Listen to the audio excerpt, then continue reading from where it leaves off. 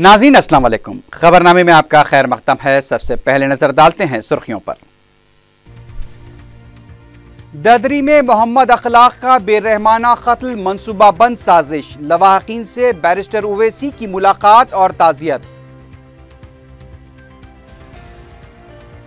सरकारी दवाखानों के मुलाजमीन को मुफ़्त तिब्बी खदमात की स्कीम। वज़ीर सेहत के हाथों इफ्तः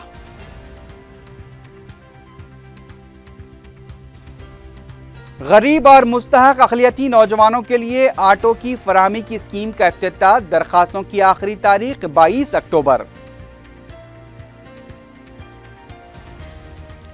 सिकंदराबाद बस स्टैंड के पास एक खातून का बेरहमाना कत्ल, इलाके में सनसनी।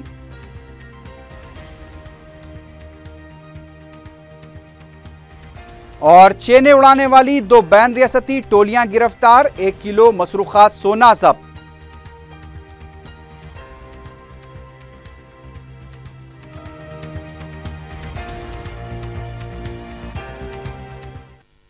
सुर्खियाँ आपने देखी बढ़ते हैं खबरों की तफसील की जानेब।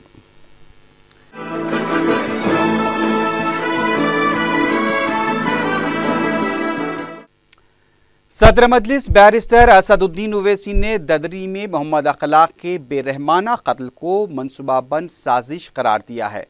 बैरिस्टर ओवैसी ने ददरी पहुंचकर मोहम्मद अखलाक मरहूम के अफराद ख़ानदान से मुलाकात करते हुए पुरसा दिया। इस मौके पर मीडिया से बात करते हुए बैरिस्टर ओवैसी ने मरकजी वज़ीर महेश शर्मा की तरफ़ से इस वाक़े को इत्तेफाकी हादसा कहे जाने के रिमार्क की शदीद मजम्मत की। उन्होंने कहा कि एक शख्स को फ़र्स्ट फ्लोर से घसीट कर नीचे लाया गया और बेरहमी से कत्ल कर दिया गया। क्या इस वाक़े को इत्तेफाकी हादसा कहना दुरुस्त होगा? उन्होंने कहा कि अखलाक के कत्ल के पीछे वो जहन है जो हिंदुस्तान के सेकुलरिज्म और भाईचारे के खिलाफ है। इस कत्ल के पीछे वो जहन है जो हिंदुस्तान के मुसलमानों को शक की नज़र से देखता है।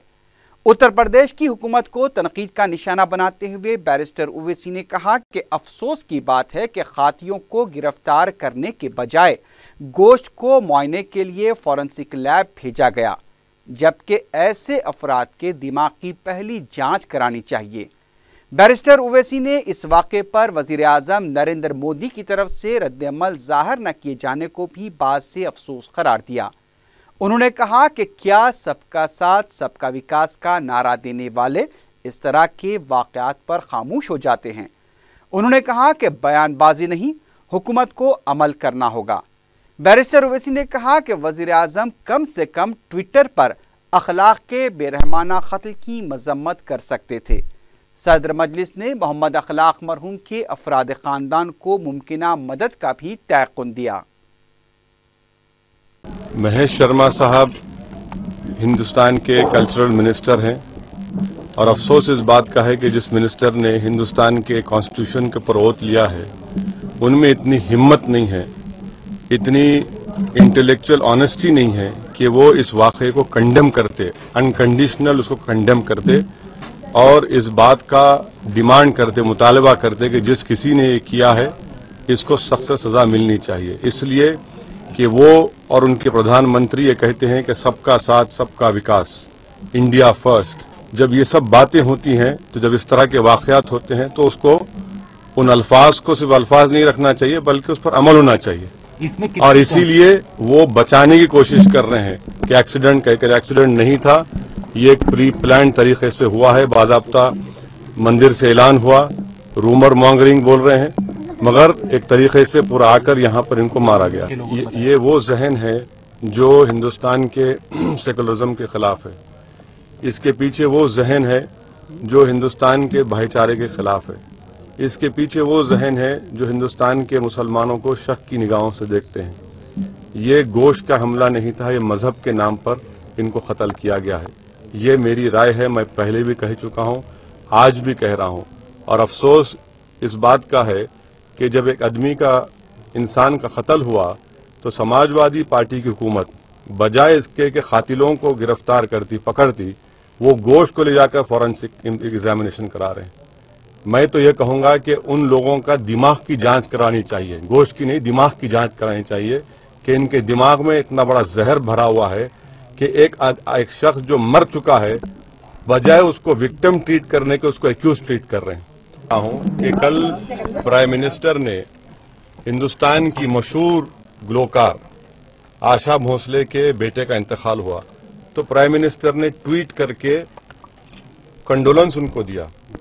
हम ये उम्मीद करते थे कि हम प्राइम मिनिस्टर भी यहाँ पर अखलाक की मौत के ऊपर सरताज से कंडोलेंस करेंगे और इसको कंडेम करेंगे। मगर अफसोस है कि प्राइम मिनिस्टर एक मशहूर गायिका के बेटे का इंतकाल हुआ, वो भी गमगीन बात है। मगर जिस तरीके से यहाँ पर अखलाक को मारा गया, घर में घुसकर फ़र्स्ट फ्लोर से मारते हुए नीचे लाकर उसको फेंक देना, हम तो उम्मीद कर रहे थे कि सबका साथ, सबका विकास कहने वाले प्रधानमंत्री, कम से कम ट्वीट के ज़रिए उसको कंडेम कर, पूरी जाँच होनी चाहिए। जो कोई भी खाती है, जो कोई भी मुलजिम इसमें है, उसको गिरफ़्तार करने की बेहद ज़रूरत है। जजहार में भी, हरियाणा में सात दलितों को 2002 में पुलिस स्टेशन से निकालकर उनको जान से मार दिया गया था। गो देर लगी, सात साल के बाद उनको सजा हुई।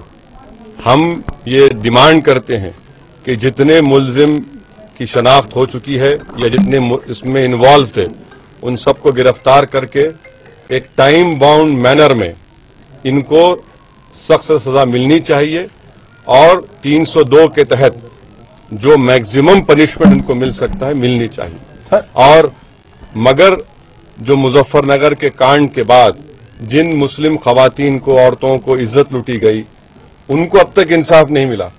तो हमको डाउट है बल्कि पूरा यकीन है कि समाजवादी की हुकूमत इन लोगों को सजा नहीं दिलाएगी, बल्कि कुछ ना कुछ करके थोड़े दिन जाने के बाद, जिस तरह मुजफ्फरनगर के कांड के बाद जो लोग पकड़े गए थे, सब बाहर निकल गए बेल में, वही ये कोशिश कर सकते वज़ीर सेहत लक्ष्मा रेड्डी ने कहा है कि डेंगू से निपटने के लिए हुकूमत मुमकिन इकदाम कर रही है। महावीर हॉस्पिटल में होम्यो क्लिनिक का इफ्तः करने के बाद मीडिया से बात करते हुए लक्ष्मा रेड्डी ने कहा कि डेंगू से मुतासरा मरीजों को सरकारी दवाखानों में सहूलत फराहम की जा रही है। उन्होंने कहा कि अच्छी सेहत इंसान के लिए इंतहाई अहमियत की हामिल है और इस सिलसिले में तिब्बी खदमात फराहम करना हुकूमत की ज़िम्मेदारी है। एक सवाल का जवाब देते हुए वज़ीर सेहत ने सिर्फ़ इतना कहा कि डेंगी काबू में है, लेकिन उन्होंने मरीजों की निशानदही से मुतल पूछे गए सवाल को टाल दिया।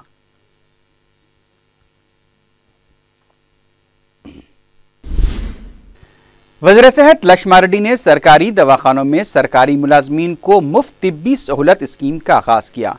इस मौके पर उन्होंने कहा कि कॉरपोरेट हॉस्पिटल्स के तर्ज पर सरकारी दवाखाने में तिब्बी सहूलत फराहम की जाएगी। वज़ीर मौसूफ ने बताया कि सरकारी मुलाजमीन निम्स में इस मुफ़्त तिब्बी सहूलत से इस्तेफादा कर सकते हैं। लक्ष्मण रेड्डी ने कहा कि खानगी दवाखानों के मुलाजमीन को भी मुफ़्त तिब्बी खदमात फराहम करने के लिए हुकूमत आगे आ रही है। इस सिलसिले में बातचीत का अमल मुसलसल जारी है। मुस्तबिल में सरकारी दवाखानों में तिब्बी सहूलतों को मजीद असरी बनाया जाएगा। तेलंगाना हुकूमत की तरफ़ से गरीब और मुस्तक अकलियती नौजवानों के लिए ओन योर ऑटो स्कीम का नायब वज़ीर अला मोहम्मद महमूद अली और मरकजी वज़ीर बंडारू दत्तात्रेय ने अफ्ताह अंजाम दिया। महकमे अकलियती मालियती कॉरपोरेशन की निगरानी में इस स्कीम पर अमल किया जाएगा। मुस्तक और गरीब अकलियती नौजवानों, जिनके पास ऑटो ड्राइविंग लाइसेंस हैं, वो 22 अक्टूबर तक ऑनलाइन दरखास्तें दाखिल कर सकते हैं। पचास फ़ीसद सब्सिडी पर एक हज़ार आटो तकसीम किए जाएँगे। नायब अला ने कहा कि तेलंगाना हुकूमत अकलीतों की बहबूद के लिए मुमकिन इकदाम कर रही है और इस बात को यकीनी बनाया जाएगा कि आइंदा पाँच सालों में अकलीती नौजवान बेरोज़गार ना रहें। इस मौके पर फाइनेंस कॉरपोरेशन के अहदेदार मोहम्मद शफी ने भी खिताब किया। वज़ीर अला के चंद्रशेखर राव ने governor E S L Narasimhan से मुलाकात की। मुलाकात के दौरान वज़ीर अला ने तेलंगाना की आबी पॉलिसी के बारे में ऐवान असम्बली में पेश किए जाने वाले पावर पॉइंट प्रजेंटेशन से मुतल गवर्नर को वाकिफ करवाया। जराये के मुताबिक वज़ीर अला आठ और नौ अक्टूबर को ऐवान असम्बली और कौंसिल का मुश्तर इजलास मुनद करते हुए तेलंगाना आबी पॉलिसी पर पावर पॉइंट प्रजेंटेशन करने वाले हैं। इस सिलसिले में वज़ीर अला ने गवर्नर को भी दावत दी है। इसके अलावा वज़ीर अला ने गवर्नर को रियासत में खुशक साली की सूरत हाल और किसानों की खुदकुशी से मुतलक वाक़ात की तफसीत से वाकिफ करवाया। इस सिलसिले में किए जाने वाले इकदाम से भी बाखबर किया है। वजी अला इस पावर पॉइंट प्रोग्राम के ज़रिए मुख्तलिफ़ जेर अल्तवा आबपाशी प्रोजेक्ट्स और नए आबपाशी प्रोजेक्ट्स के डिज़ाइन की तब्दीलियों से मुतल तफसीत पेश करेंगे। महात्मा गांधी को उनके एक सौ छियालीसवीं योम पैदाइश के मौके पर हुकूमत की तरफ़ से खराज पेश किया गया। वजर अला के चंद्रशेखर राव ने असम्बली के अहाते में वाक़ गांधी जी के मुजस्मे पर फूल निछावर किए। स्पीकर असम्बली मधुसूदन चारी और कौंसल के सदनशीन स्वामी गौड़ के अलावा दीगर कायदीन और अमला भी इस मौके पर मौजूद था। बापू घाट पर भी रियासती governor E S L Narasimhan और वज़ीर अला के चंद्रशेखर राव ने फूल निछावर करते हुए महात्मा गांधी को खराट पेश किया। कांग्रेस के हेडक्वार्टर गांधी भवन में सदर पीसीसी उत्तम कुमार रेड्डी और कांग्रेसी कायदीन ने महात्मा गांधी और सबक वज़ीर अजम लाल बहादुर शास्त्री को खराट पेश किया। उत्तम कुमार रेड्डी ने इस मौके पर कहा कि कांग्रेस गांधी जी के उसूलों पर चलने वाली पार्टी है। इंदिरा भवन में आंध्रा कांग्रेस पार्टी की तरफ़ से तकरीब मुनद की गई। सबक वज़ीर शर्जनाथ ने कहा कि मरकजी सतह पर महात्मा गांधी की सिताइश की आड़ में गोडसे को मकबूल बनाने का मंसूबा तैयार किया जा रहा है। उन्होंने कहा कि गोडसे ने गांधी जी का कत्ल किया था, इसे छुपाने की कोशिश की जा रही है। उन्होंने इल्ज़ाम लगाया कि मौजूदा मरकजी हुकूमत में भी गोडसे के उसूलों पर चलने वाले अफराद मौजूद हैं। तेलुगु देशम के मरकजी दफ्तर में भी गांधी जयंती तकरीब का इनका अमल में आया। तेलुगु देशम खादीन ने महात्मा गांधी की तस्वीर पर फूल चढ़ाकर उन्हें खराज पेश किया।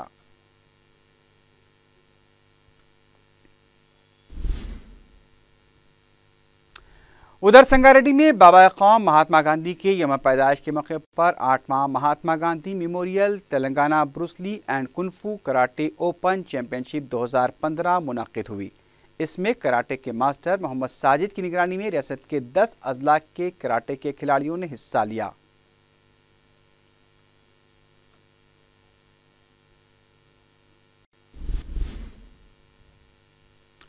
कोहे मोलाली में रैंप की तामीर के कामों का मजलिस के रुकन कौंसल सैद अल्ताफ हैदर रजवी ने जायजा लिया। इस मौके पर मीडिया से बात करते हुए मजलिस के रुकन कौंसल ने बताया कि सदर मजलिस की हिदायत पर ज़ायरीन की सहूलत के लिए इस काम का आगाज़ अमल में आया है। उन्होंने बताया कि रैंप की तामीर की पेशरफ का उन्होंने जायज़ा लिया है और ज़रूरी हिदायत दी हैं। इस मौके पर सबक कॉरपोरेटर रियाजुल हसन आफंदी भी मौजूद थे। ये रैम मरहूम सदर सालार मिलत की एक ख्वाहिश थी।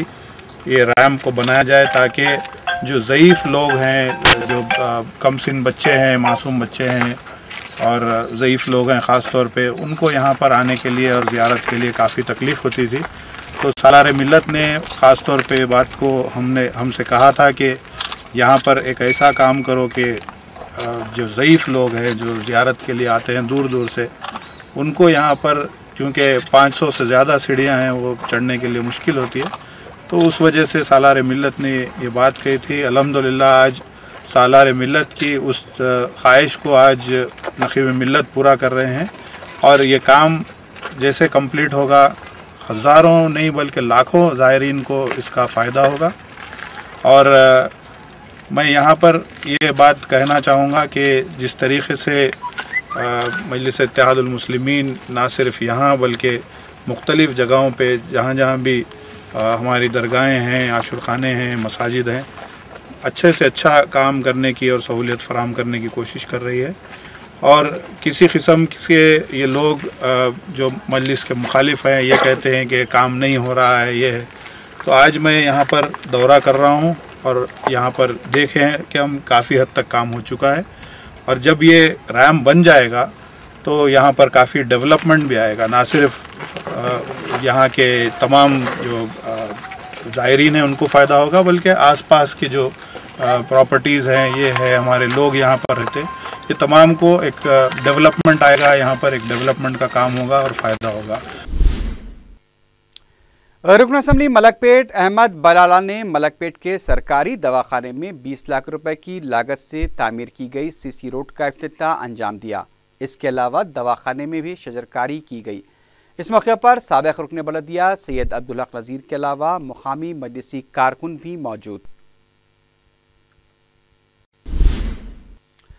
तेलंगाना तेलुगुदेशम महिला शोबे की लीडर रजनी ने कहा है कि बदकम्मा त्यौहार से मुतल रुकन पार्लियामेंट कविता को अहदेदारों को हिदायत देने का कोई इख्तियार नहीं है। मीडिया से बात करते हुए उन्होंने सवाल किया कि क्या जागृति तंजीम हुकूमत का हिस्सा है या फिर रजाकाराना तंजीम है? उन्होंने कहा कि कविता कलेक्टर्स को भी अहकाम जारी कर रही हैं और बदकम्मा त्यौहार की तारीख का भी ऐलान कर रही हैं। तेलुगुदेशम पर कविता की तनकीद का जवाब देते हुए उन्होंने कहा कि साल 2009 में टीआरएस ने तेलुगुदेशम से मुफाहमत की थी। क्या उस वक्त वो तेलंगाना की धोखेबाज पार्टी नहीं थी?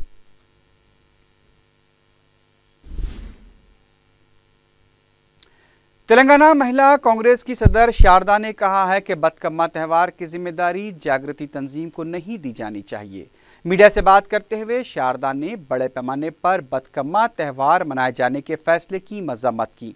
उन्होंने कहा कि ऐसे वक्त जबकि किसान और आशा वर्कर्स खुदकुशी कर रहे हैं, त्यौहार को बड़े पैमाने पर मनाने का फैसला मुनासिब नहीं है।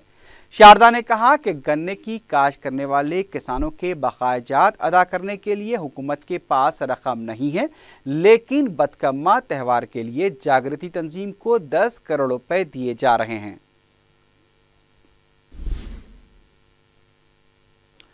तेलंगाना कांग्रेस के वर्किंग प्रेसिडेंट भट्टी विक्रमार्का ने कहा है कि किसानों के कर्जजात की एक ही वक्त में अदायगी तक हुकूमत का घेराव किया जाता रहेगा।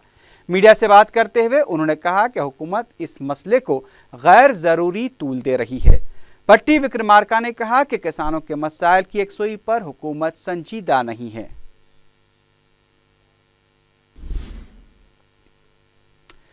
तेलुगुदेशम के लीडर जी मुद्दू कृष्णमा नायडू ने कहा है कि कांग्रेस और वाईएसआरसीपी के वावेला मचाने या फिर झूठी हड़ताल करने से आंध्र प्रदेश को खसूसी रियासत के दर्जे के मुतालबे से कुछ हासिल नहीं होगा। मीडिया से बात करते हुए उन्होंने कहा कि ये मसला सिर्फ़ दिल्ली में हल हो सकता है। तेलुगुदेशम लीडर ने कहा कि दोनों जमातें रियासत की तकसीम में अपना रोल अदा कर चुकी हैं। और जब तकसीम जदीद बिल को मंजूर किया जा रहा था, उस वक्त भी दोनों जमातें खामोश थीं, लेकिन अब तेलुगुदेशम हुकूमत को बदनाम करने की कोशिश की जा रही है। जहरानगर, मंडी मिरालम के इलाके में बरखी वोल्टेज में उतार चढ़ाव की वजह से कई मकानों में बरखी से चलाई जाने वाली अशिया को नुकसान पहुँचा। मजलिस के जनरल सेक्रेटरी व रुकन असम्बली सैद अहमद पाशा खादरी ने इलाके का दौरा करके महकमे बरकी के एई से कहा कि वो मसले की एक सोई करे। उन्होंने इस वाक़े पर होने वाले नुकसान के तखमीना के लिए एक नुमाइंदे को भी मुतन किया। मुकामी अफराद करीब एक महीने से महकमे बरकी से शिकायत कर रहे थे, लेकिन महकमा तसाहुल से काम लेता रहा। सबक रुकन बलदिया रियाजुल हसन आफंदी भी इस मौके पर मौजूद थे।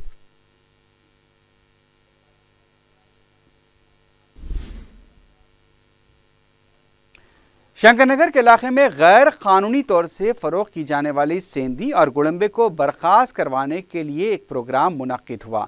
इस मौके पर D C P M M Farooqui ने मुतल रुकन असम्बली अहमद बलाला की मौजूदगी में शुरा को हलफ दिलाया। रुकन असम्बली अहमद बलाला ने अपने खिताब में पुलिस को मशवरा दिया कि वो ये कारोबार करने वालों पर दो साल के लिए पी डी एक्ट आयद करे। उन्होंने कहा कि गुड़म्बे का कारोबार करने वाले बाज बदनाम जमाना अफराद इस बस्ती के लिए नासूर बने हुए हैं और उनके खिलाफ पुलिस की सख्त कार्रवाई ज़रूरी है। वाजर है कि मस्कुर इलाके में नसीमा, मीरा, कमलम्मा, सोनी, हसीना और गुंडम्मा गैर कानूनी तौर से गुड़म्बा और सिंधी फ़रोग करते हैं। इस सिलसिले में महकमा जात पुलिस और आबकारी की जानब से एक पम्फलेट भी जारी किया गया, जिसमें टोल फ्री नंबर के ज़रिए इतला देने की अपील की गई। सबक रुकन बलदिया सैद अब्दुल हक नज़ीर के अलावा दूसरे भी मौजूद थे। दूसरी तरफ़ मंगलहाट में आबकारी और लॉ एंड ऑर्डर पुलिस की तरफ़ से गुड़म्बे के इस्तेमाल से होने वाले नुकसान से मुतल शूर बेदारी के लिए रैली निकाली गई। रैली में स्कूली बच्चों की कसीर तादाद ने हिस्सा लिया। आबकारी पुलिस के अहदेदार एम एम फारूकी ने बताया कि कमिश्नर आबकारी चंद्रवर्धन और डायरेक्टर अकुन सबरवाल की हिदायत पर रैली निकाली गई है ताकि गुड़म्बे के इस्तेमाल से होने वाले नुकसान से आवाम को वाकिफ करवाया जाए।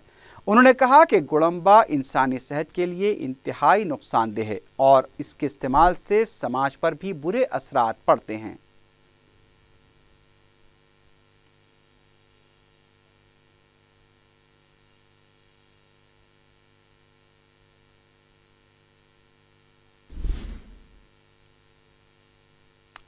South zone, law order police के हमरा इस जोन और साउथ जोन टास्क फोर्स की टीमों ने दो बैन रियासती टोलियों को गिरफ़्तार करने में कामयाबी हासिल की है, जो चेने उड़ाने की तीस वारदातों में मुलविस थी।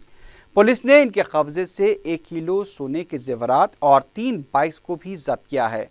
कमिश्नर पुलिस महेंद्र रेड्डी ने police commissioner office Basheer Bagh में एक प्रेस कॉन्फ्रेंस में बताया कि इन टोलियों का ताल्लुक तेलंगाना और महाराष्ट्र से है। दो टोलियों के जुमला छह अफराद को गिरफ़्तार किया गया। इनमें तीन हैदराबाद के और तीन महाराष्ट्र के हैं। बिहार का रहने वाला एक रुकन फरार बताया गया है। हैदराबादी सारिक सोमाजीगुड़ा उप्पल और तालाब कट्टे के रहने वाले हैं। तमाम गिरफ़्तार शुदगान को मजीद कार्रवाई के लिए सैफाबाद और संतोषनगर पुलिस के हवाले किया जा रहा है।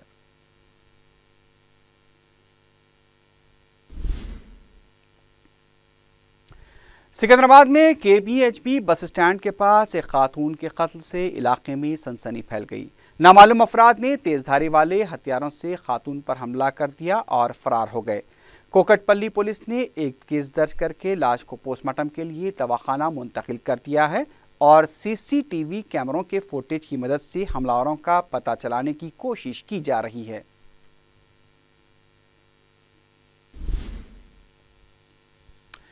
जुबली हिल्स की रोड नंबर 36 पर जुमेरात और जुमे की दरमियानी शब 22 के शोरूम में आती इज्जतगी का वाक़ पेश आया। तफसीत के मुताबिक रियल रैप्टर नामी शोरूम में, जहाँ साढ़े तीन ता पच्चीस लाख रुपए तक की महँगी बाइक्स फरोख की जाती हैं, शॉर्ट सर्किट की वजह से आग लग गई। अंदाजे के मुताबिक तकरीबन तीन करोड़ रुपए की मालियत की बाइक्स जलकर खाकिस्तर हुई हैं। इतला मिलने पर फायर ब्रिगेड के अमले ने मुकाम वाक़ पहुँच आग पर काबू पाया। पुलिस मसरूफ तहकीकात है। आखिर में सुर्खियों पर एक बार फिर नज़र डालते हैं। ददरी में मोहम्मद अखलाक का बेरहमाना कत्ल मनसूबा बंद साजिश लवाहकीन से बैरिस्टर उवैसी की मुलाकात और ताजियत। सरकारी दवाखानों के मुलाजमीन को मुफ़्त तिब्बी खदमात की स्कीम, वज़ीर सेहत के हाथों अफ्ताह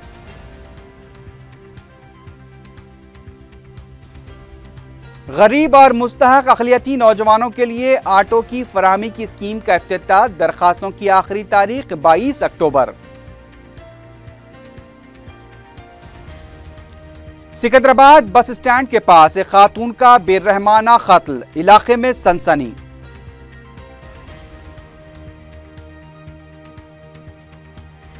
और चेने उड़ाने वाली दो बैन रियासती टोलियाँ गिरफ़्तार, एक किलो मसरूखा सोना जब्त।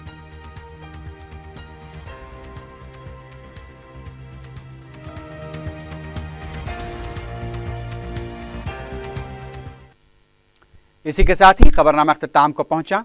अल्लाह हाफिज़।